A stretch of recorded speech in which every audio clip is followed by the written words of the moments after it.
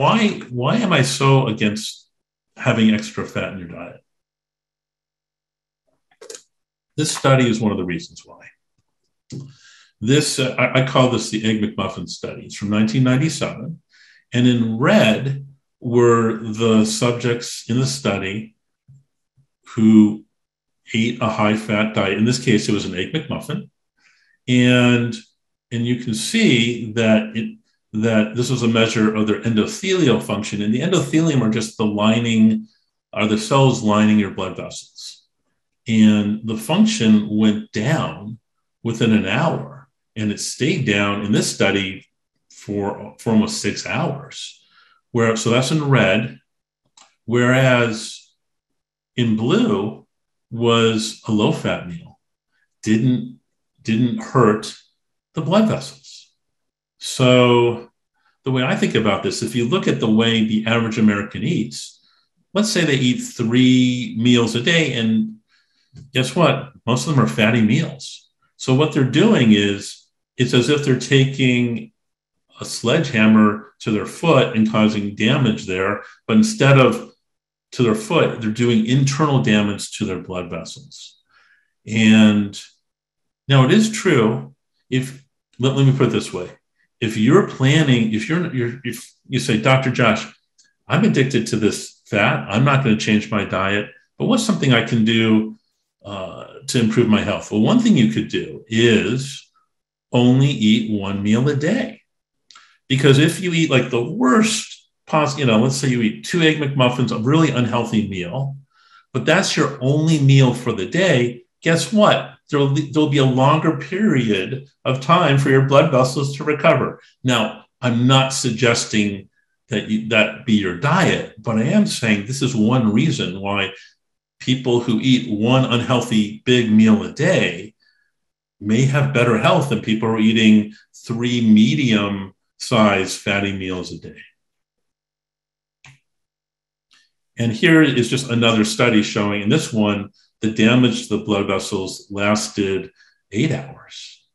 So, and yes, this this is real. Uh, people are in shock when they and, and, and, I, and I apologize if people are sensitive who are seeing this. This is what we call sludge blood. So if you eat a fatty meal, whether it's a meal with olive oil or a meal a meal with butter or an egg McMuffin whatever it is.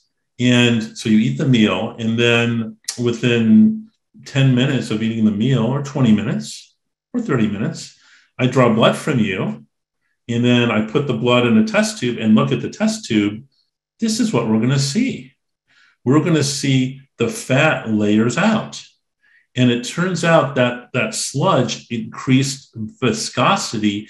It, your heart has to work harder uh, what, what happens if you look under a microscope, the red blood cells stack up and they form what are called rouleaux. And uh, the rouleaux are just stacks and it's harder for, your, for it to go through your, your blood vessels. Another thing is when you eat a fatty meal like this and you have sludge blood, your blood oxygen goes down between 5 and 10%.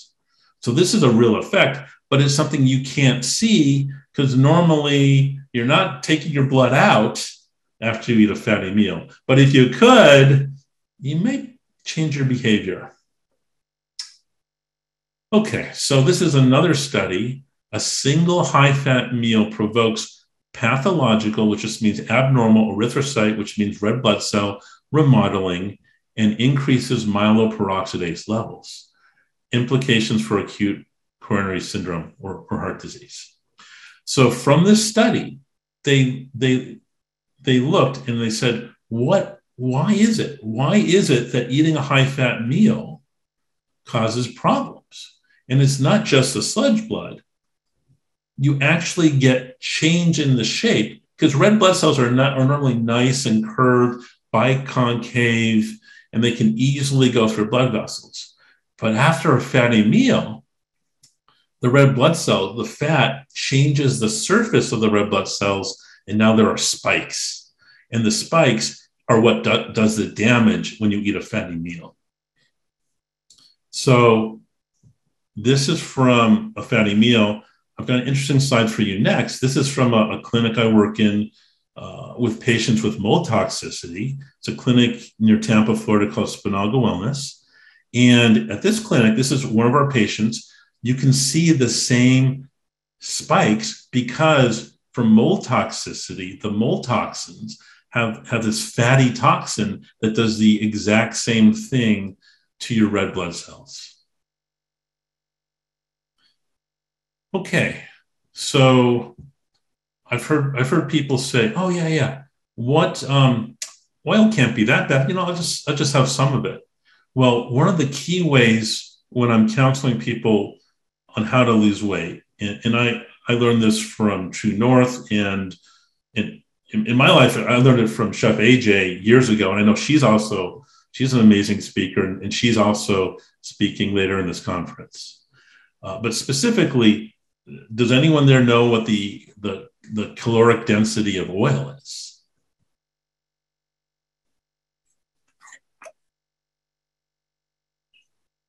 All right, Colleen. Colleen knows it's 4,000.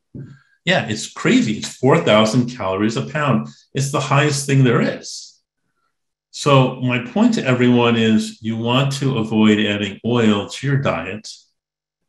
So, I've got another interesting, I think it's a funny story because like like many of you i used to be addicted to oil in fact i grew up i grew up uh, at restaurants like carrabba's you know where they would you know before the meal they would bring out the bread and they would bring out the olive oil but they say oh we don't here we don't call this olive oil we call this italian butter and I, this is a funny story for me because decades ago like 30 years ago i remember going to rome italy with my dad and we went to you know, a nice, you know, a nice Italian restaurant.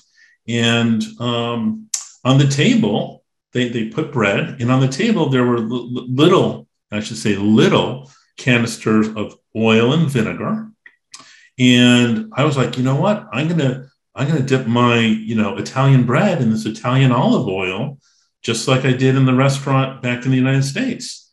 So I did that. And, you know, my dad looked at me like, what are you doing? It's like, oh, I like it and and within two minutes the waiter comes by and he the italian waiter and he grabs the bottle of olive oil from the table. So i'm like whoa.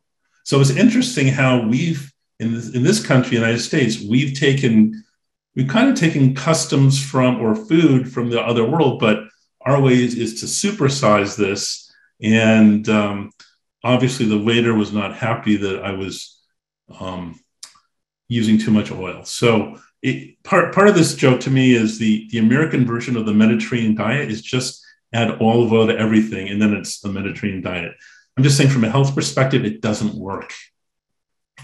So here's another idea on uh, on the marketing side, and that is, for whatever reason, um, it's filtered down to the popular conception that fried food probably isn't healthy. But if you take that same fried same fried chicken and you call it crispy, that's now healthy. And if you look now, if you watch the commercials, nothing's fried anymore. Everything's just crispy. So you just have to understand there's manipulation going on. And the purpose of my lecture today is to manipulate you to, to truly eat on the healthy side. So you might say, well, Dr. Josh, you know, are there any uses for olive oil that, you know, and actually there's some good medicinal uses for olive oil. Let me give you some examples. There are studies that if you have arthritis and you rub olive oil on those joints, you know, you have a shoulder that's that's bad, you rub it on, the inflammation there will go down. So, and hey, give it a try. You know, I, I don't see any downside. Or, you know, sure, you could you can use olive oil on your on, on your hair. But but my point my point is you don't want to be adding extra olive oil or other oils to your food. Okay, but I know you might be saying, I love I love the comment here. The waiter saved my life. so true.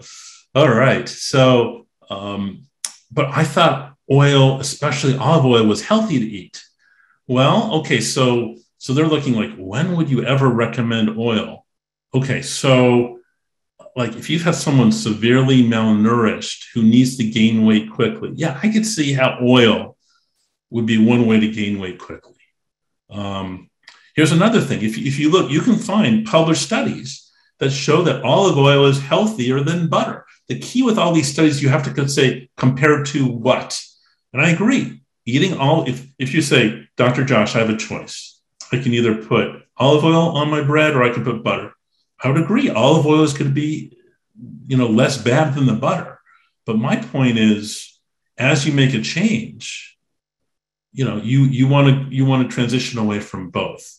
And again, as you heard in the introduction, it took me it took me years to make this transition. So I don't judge other people because I know for myself it took a long time. But but no, don't don't don't be set with the misconception that olive oil is a health food.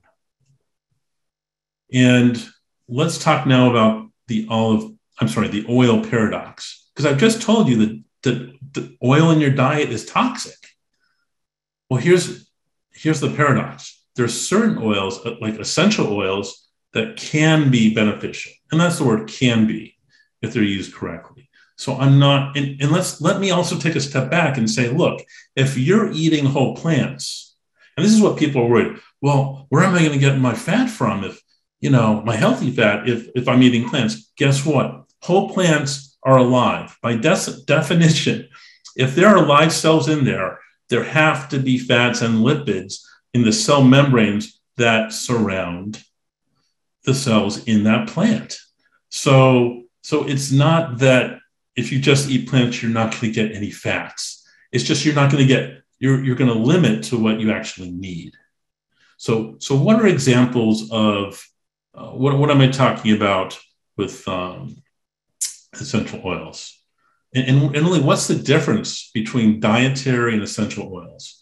Well, there, there are many differences. One difference is the dose, because you know when you cook with one or two tablespoons of oil to, to fry it or to make it crispy, that's actually 300 to 600 drops. Whereas with essential oils, if you're using it for therapeutic and medicinal reasons, two drops, you know, two drops versus 300 or 400 drops. You can see there's an order of magnitude difference. What's another difference? Another is the biological activity. So, so we just heard that, you know, olive oil and these other oils will cause red blood cells to deform. That's not a good biological activity. Whereas, and I, and I know this is a, this is a very busy, very busy slide, and, and uh, but just to let you know that the reason these are essential oils that have been used uh, in the treatment of obesity, and specifically, um, you can see here there are many different pathways, whether it's the brain or the stomach, uh, and listed here there are a ton of different oils that have different effects on different steps. Uh, you know, some some of them will will stop you from having appetite. Some of them will stop uh, the fat from building up. Um, so it's complicated, and and and guess what? It's not unique to the obesity issue. Our bodies are complicated. The, the biochemical pathways. There are many steps, and and I'm, I'm all for you know, trying reductionism and trying to say, hey, let's keep it simple. Let's find one pathway and find one drug that stops that one pathway. And let's just hope that fixes all the problems.